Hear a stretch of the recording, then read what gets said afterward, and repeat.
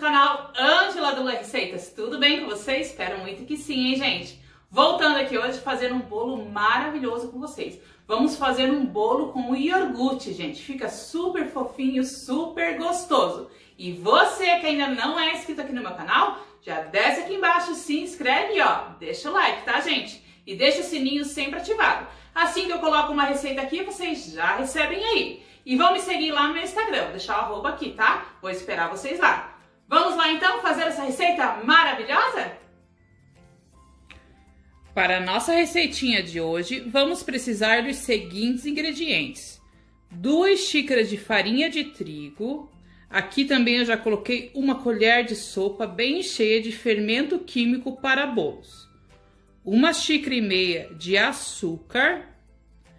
Quatro ovos um potinho de iogurte natural, tá? 170 gramas e 150 ml de óleo. Vamos lá então ao passo a passo da nossa receitinha de hoje. O passo a passo do nosso bolo é bem simples. Já coloquei aqui os ovos, ó, no copo do liquidificador. Agora vou colocar o iogurte, ó, tá? Pode ser o integral ou desnatado, tá? Tanto faz. Um copinho de 170 gramas. Vamos colocar aqui também o óleo e o açúcar.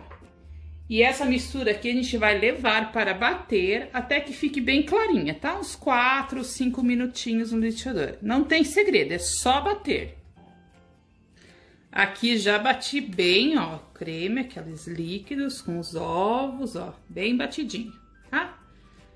Bati bem, agora vou passar aqui para um bol, ó. E aqui é só agregar agora o trigo com o, o fermento, que a gente já colocou o fermento, ó. Vou colocar aqui a metade, ó. Vou peneirar para ficar bem soltinha essa farinha. Ó. Pode colocar tudo de uma vez, assim, ó. Esse bolo aceita bem, tá? Ó. Quem quiser pode até bater no liquidificador, tá? Se o liquidificador aguentar, pode bater até a farinha no liquidificador. Ó. Colocar tudo aqui. Peneirar.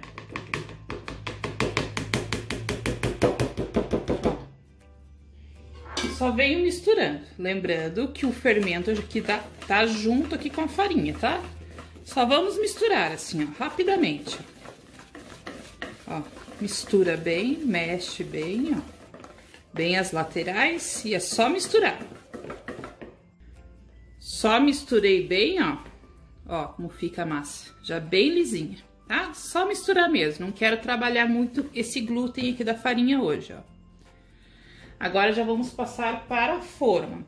A forma aqui eu untei com margarina e açúcar, ó, tá? Hoje não coloquei trigo, só açúcar, tá? Para ficar uma casquinha bem saborosa. Já vamos colocar aqui, ó. Vamos levar ao forno pré-aquecido 180 graus. Como eu sempre falo para vocês. Começou a separar os ingredientes, já liga o forno, tá? Para ir pré-aquecendo, Vamos deixar lá até que ele fique bem douradinho. Vai levar aí uns 35, 40 minutos, tá?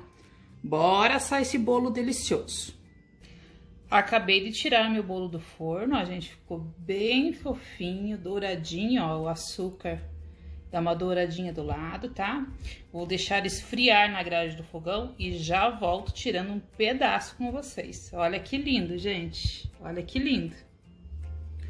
Já desenformei o bolo. Olha que lindeza, gente. O açúcar forma uma casquinha crocante, gostosa e tá super fofinho, ó, gente. Que delícia. Bora tirar um pedaço. Ainda tá morninho o nosso bolo por aqui. Tirar um pedaço, olha. Hum, essa casquinha crocante de açúcar. Uma delícia, ó.